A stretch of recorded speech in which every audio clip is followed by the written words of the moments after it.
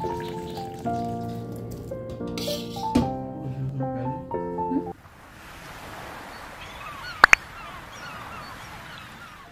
Hai semuanya, Assalamualaikum warahmatullahi wabarakatuh. Jumpa lagi sama aku Yulia. Oke teman-teman, seperti biasa Aku meng-share lagi kegiatan aku Dan ini dimulai dari masak-masak lagi ya teman-teman. Pokoknya buat teman-teman semua Jangan bosan-bosan ya Untuk selalu nonton video-video atau channel aku ini. Nah tapi sebelum lanjut ke videonya Yang baru mampir atau baru gabung di channel aku Jangan lupa untuk diklik dulu tombol subscribe-nya. Kalian juga bisa like, komen dan juga share ke sosial media yang kalian punya. Nah dan ini aku mau masak ikan cuek keranjang ya teman-teman. Jujur ya aku tuh suka banget sama ikan cuek keranjang apalagi kalau dimasaknya tuh pakai bumbu kemangi. Terus cabenya tuh yang banyak itu pedas banget dan ini tuh bikin nambah terus gitu kalau aku makan ya. Intinya ini tuh bikin aku gagal diet ya teman-teman.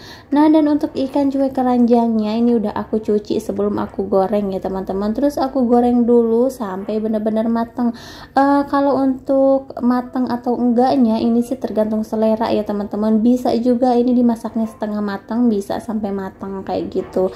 Nah dan ini untuk ikan cuanya udah matang tinggal diangkat aja ditirisin kayak gini. Terus selanjutnya aku mau bikin kopi dulu karena suami barusan minta dibikinin kopi ya teman-teman Nah, oke okay, sekarang aku mau bikin bumbunya dulu. Nih untuk bumbunya cukup gampang ya. Cuma di sini aku nggak pakai serai karena kebetulan di rumah serainya habis.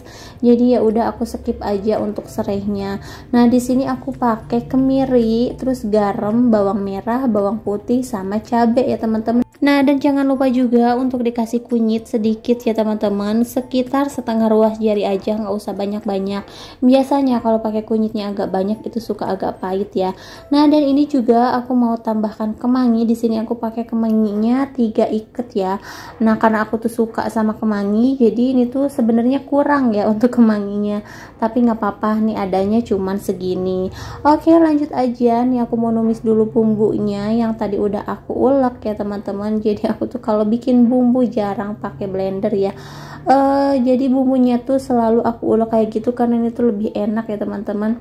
Terus ini juga aku masukin salam dan juga lengkuas terus penyedap rasa kayak gitu.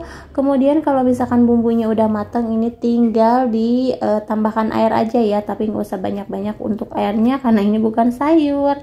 Oke nah kalau misalkan udah matang bumbunya nih untuk ikannya tinggal dimasukin aja dan ini tuh nggak usah terlalu lama ya masaknya karena kan ikan cueknya juga udah matang kayak gitu. Pokoknya ini ditunggu aja sampai airnya tuh bener-bener menyusut ya teman-teman. Nah dan ini tuh karena kurang air jadi barusan aku tambahkan sedikit. Terus kalau misalkan udah mau mateng nih tinggal dimasukin kemanginya jadi untuk kemangi ini belakangan aja ya. Biar nantinya tuh nggak terlalu hitam banget gitu kemanginya biasanya kalau kematangan itu kan nantinya bakalan uh, kayak hitam gitu ya untuk kemanginya dan nggak seger lagi. Nah oke okay, teman-teman ini untuk ikan cuek bumbu kemanginya udah mateng tinggal disajikan aja kayak gini. Dan ini tuh wajib dicoba ya teman-teman. Ini enak banget pokoknya bikin gagal diet deh lanjut sekarang aku mau bikinin sayur buat Ravan ini Ravan minta dibikinin sayur bakso lagi tapi kali ini pengen pakai jagung sama wortel ya teman-teman. Nah ini tuh Ravan gak bosan-bosan ya tapi buat teman-teman semua yang nonton semoga gak bosan ya kalau misalkan aku masaknya itu-itu aja gitu. Nah karena ini tuh sesuai sama permintaannya Ravan kalau misalkan gak dituruti nanti aku masakin yang lain nantinya kan gak dimakan ya teman-teman. Jadi lebih baik aku nurutin aja kemauan Ravan dia pengen dimasakin apa dan hari ini seperti kemarin dia minta dimasakin bakso ya. Cuman kalau kemarin kan aku pakainya uh, daun apa ya pakai daun bayam terus kadang aku pakai sawi kayak gitu. Nah kali ini enggak aku pakai yang hijau-hijau ya teman-teman. Jadi aku pakainya jagung sama wortel.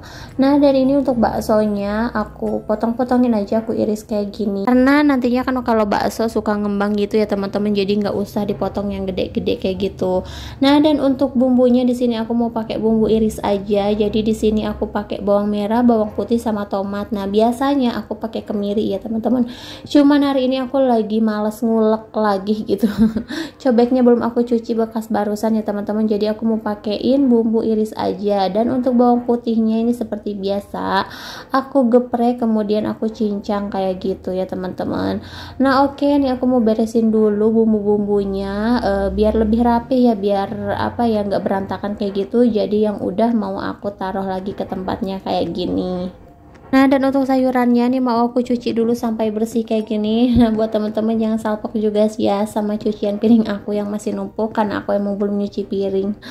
Oke ini lanjut aja nih. Aku mau numis uh, bawangnya. Jadi pertama aku tumis bawang merah dulu terus sama bawang putih dan terakhir tomat ya teman-teman. Nah ini sengaja aku pakein minyaknya sedikit ya biar nggak terlalu banyak minyak gitu. Apalagi ini buat terapan ya. Nah ini tinggal dimasukin aja semuanya. Ini aku nggak pisah-pisahin ya. Biasanya aku tuh kalau masak sayur pakai wortel biasanya wortel duluan ya karena wortel itu kan lama gitu matangnya. Tapi untuk kali ini aku campurin aja semuanya gitu. Untuk wortelnya juga aku iris tipis-tipis jadi bakalan cepet empuknya nah oke okay, teman-teman ini tinggal dikasih air aja kayak gini terus ditambahkan bumbu-bumbu yang lainnya kayak gitu. Nah teman-teman gimana nih? Udah pada masak belum pagi-pagi kayak gini? Atau mungkin uh, ada yang beli sarapan nggak masak kayak gitu? Kalau aku sih setiap pagi pasti masak ya teman-teman. Tapi kalau emang lagi mager gitu aku juga nggak masak. Paling beli aja kayak gitu. Nah kalau di sini kan uh, di samping rumah juga ada yang jualan nasi uduk kayak gitu ya. Jadi nggak usah jauh-jauh gitu kalau lagi males masak ya. Nah dan ini untuk sayurnya udah matang ya teman-teman. Dan jujur ya ini tuh rapan doyan banget. Ini segini bisa habis sih sama dia.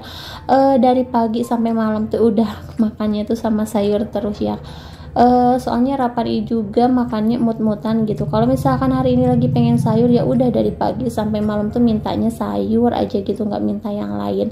Nah jadi kalau untuk menu besoknya kadang aku nanya lagi mau masak apa nih. Kadang rapan kalau misalkan udah bosan sama sayur ya udah dia mintanya digorengin ikan atau digorengin ayam kayak gitu. Tapi kalau nggak minta ya nggak aku masakin juga ya teman-teman.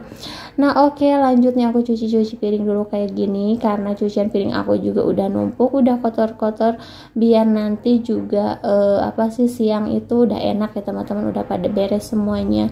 Nah biasanya kerjaan itu kalau misalkan udah didiemin gitu suka mager ya teman-teman suka males jadi kalau misalkan udah ngerjain sesuatu mendingan langsung aja dikerjain semuanya sampai beres. Jangan ditunda-tunda kayak gitu. Nah oke okay, ini aku langsung aja beres-beresin kayak gini ya teman-teman. Nah dan itu di meja dan nasi sengaja aku dingin dinginin ya teman-teman karena Rapan udah bangun udah minta makan jadi abis ini aku mau langsung nyuapin Rapan dulu. Dan ini makanan porsi Rapan ya teman-teman. Nih teman-teman udah masak apa aja nih buat anak-anaknya di rumah? Kalau aku sih masak sayur aja kayak gini sesuai sama requestannya Rapan. Nah oke teman-teman sekarang aku mau nyuapin Rapan dulu